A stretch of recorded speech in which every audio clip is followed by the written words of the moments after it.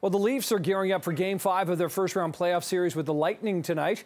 Some members of the team skating at Scotiabank Arena earlier this morning. The Leafs will have the crowd behind them again after getting blown out in Tampa Bay Sunday. Lightning beat the Leafs 7 3, evening the series at two games apiece. I think it's been a little weird to kind of get a, a feel for rhythm in some games with the penalties taken. Um, a lot of penalty minutes, a lot of teams on penalty killing or power playing. Um, so I think that can change things. But um, for us, just making sure, you know, when we're five on five, we're just staying that way, staying the way we can play. Um, you know, we know that uh, it's going to be tight here the rest of the way. A huge game. We come out with a lot of energy. Um, you know, stick to the details of our game and and uh, go from there. But it's a great opportunity, and looking forward to playing in, in this game.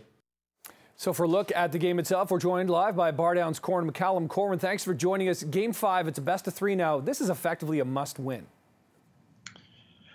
Yeah, I mean, obviously, with the Leafs comes the kind of baggage of their history mm-hmm. and specifically these situations. And obviously, it really definitely does feel like that because you you'd think going up against the back-to-back Stanley Cup champions that going into two games where they have a chance to eliminate them in either one. Toronto obviously doesn't have a great record in elimination games recently, so yeah, I, would agree. It definitely must feel like a must-win to the team and the fan base for sure. Uh, so they're going to need some more urgency uh, tonight versus Sunday night, right, Corwin? Because I mean, Sunday really the team came out flat. Stamkos scores in the first uh, first minute of the game, and then Tampa Bay adds two more within the first eight minutes. I mean, that was just such a dismal and disappointing performance here.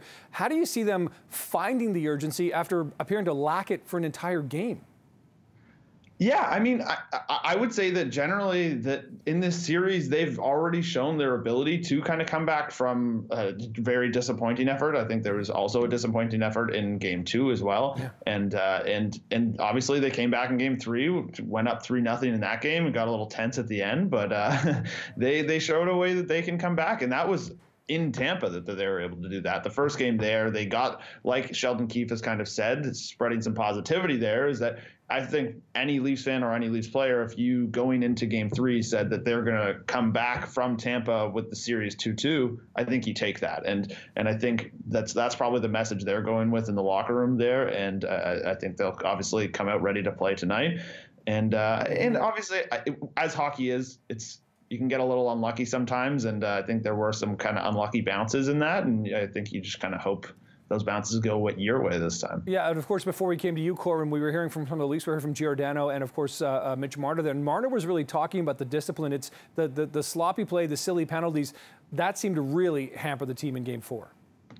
And two. yeah, I, yeah, absolutely, exactly. I, I was about to say the exact same thing you just said. That the it's it's the Game Two thing that immediately came to my mind from the obviously the Wayne Simmonds penalties were the, that really ended up costing them. And, uh, and, and exactly I kind of think like you said once they got into the second period of game 4 it just that's that's where the game got away from them is they just started taking silly penalties. And and overall in this series like that it's just very unlike the Leafs. They're not a very penalized team overall in the, like in the regular season. So it's it's kind of whether it's they're trying to overcompensate for past years of people thinking they're not tough enough or things like that then obviously I think the the playoffs seem to have a different vibe this year in terms of what they're calling and what they're not. But they uh they they they got to get it under control basically. Yeah. and uh, I, think that's probably a big message for them, and, and uh, they clearly understand it's a problem and they'll want to fix it. Yeah, definitely. That'll be the name of the game tonight. Okay, BarDown's McCallum, always appreciate the time. Thanks so much for joining us